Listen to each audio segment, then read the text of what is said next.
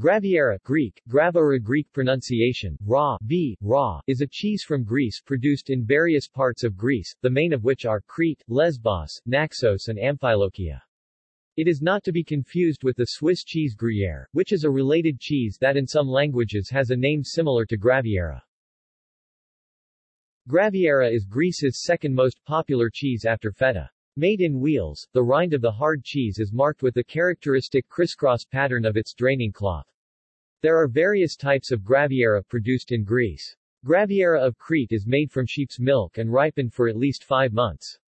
It is slightly sweet, with a pleasant burnt caramel flavor, whereas the graviera of Naxos is mostly made of cow's milk 80 to 100%. Graviera is a very versatile cheese. It can be sliced and eaten, fried as saganaki and eaten as a snack, grated and served over pasta dishes, baked in a casserole or used in salads, in cubes or shavings. It is widely available outside Greece, where it can be purchased at large grocery stores, Greek or ethnic markets, and specialty cheese shops, as well as online. Gruyere can be used as a substitute, but Graviera is homier. See also. List of cheeses.